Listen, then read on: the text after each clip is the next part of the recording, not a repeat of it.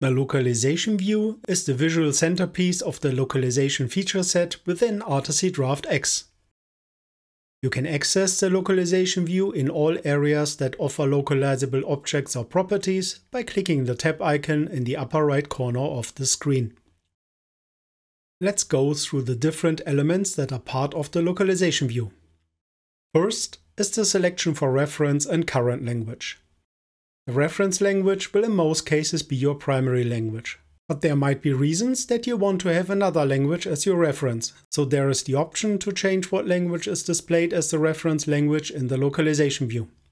The content for the reference language is shown in the reference language column. Current is the language that you want to monitor at this moment.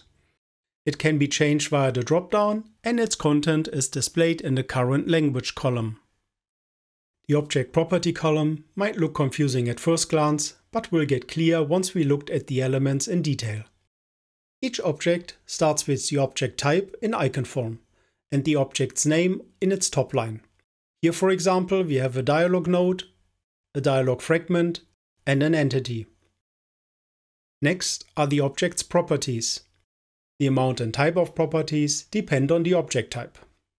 A dialog fragment has properties for preview text, called menu text in the flow view, stage directions, and its main text property, as in the dialog line.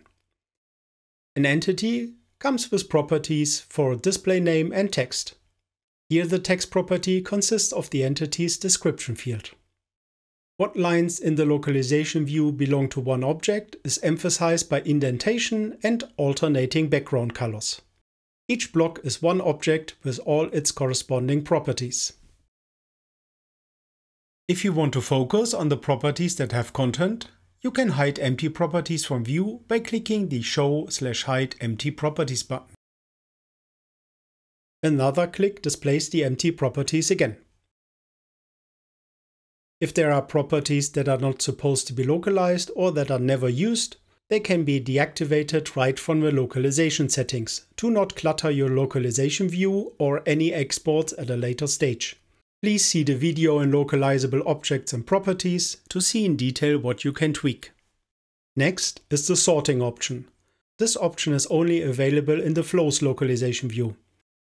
It handles in what way the branching flow structure is represented in this linear sheet. There are three options to choose from. In depth first, the algorithm will create the longest possible branch of connected nodes before going to the next branch. The breadth first option always lists all options of a branching point before following a branch further. Shortest is a mix between breadth and depth and sorts shorter branches before longer ones. It depends on the layout of the flow and your personal preference which option might be most suitable for you. One thing that is not easy to visualize is the nonlinearity of a flow in the linear representation of the localization view. To improve the overview, occurrences where the following object is not a direct neighbor of the previous one are marked with an orange dashed line. Depth controls what is shown in the localization view. It is always based on the layer you are currently submerged into. Opening the localization view from here has it based on the cell object and if we select only the current object, this is exactly what gets displayed. Current object and immediate children goes to a depth of 1 and display our base object cell and its direct child objects.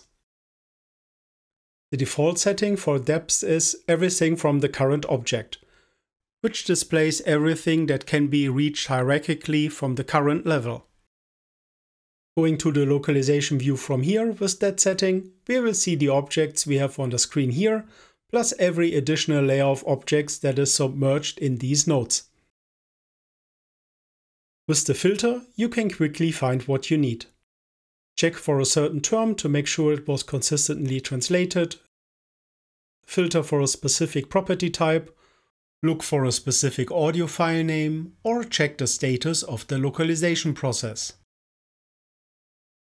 The auto-translate button is by default not visible. It is only shown if you connect your DeepL credentials with articy Draft. Please check the DeepL translation tutorial for more details on how to do that. If you have a DeepL account and have it connected, you can easily translate selected properties of the content shown in the localization view. The VoiceOver column holds the VoiceOver file belonging to this line's object property. The column is only visible if the language displayed as current was marked as a VO language in the language settings.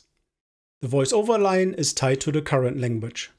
You can manually drag and drop files from your assets, select or remove a file by right-clicking on the entry, or populate them with the VO export and import. If the corresponding property type has VO set to inactive, the field is marked by a crisscross pattern and you cannot drop VO files here. Please see the video on localizable objects and properties for details. To listen to a VO sample, hover over the waveform and click the play button that appears in the lower right corner. Anästhesie? Was zum Teufel ist passiert? You can move the playhead by left-clicking on the desired position on the waveform or marker section, which then will be played in a loop with left-click, hold and drag. Mir ist ein bisschen schwindelig. Mir ist ein bisschen schwindelig. With the status columns for text and VO, you can mark if an entry is in progress, final or outdated. This can be done manually with an articy draft or via the localization and VO exports and imports. If you make a change to the primary language, entries for secondary languages for both text and VO with the status final will be automatically be set to outdated to signal that an update might also be necessary here. Then there is the remarks column where you can leave remarks for your team members or reminders for yourself.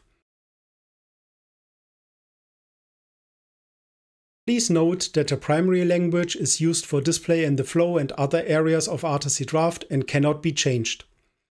In addition to the localization view to localize text and monitor the status of the localization process, the presentation view lets you simulate your project in all available project languages.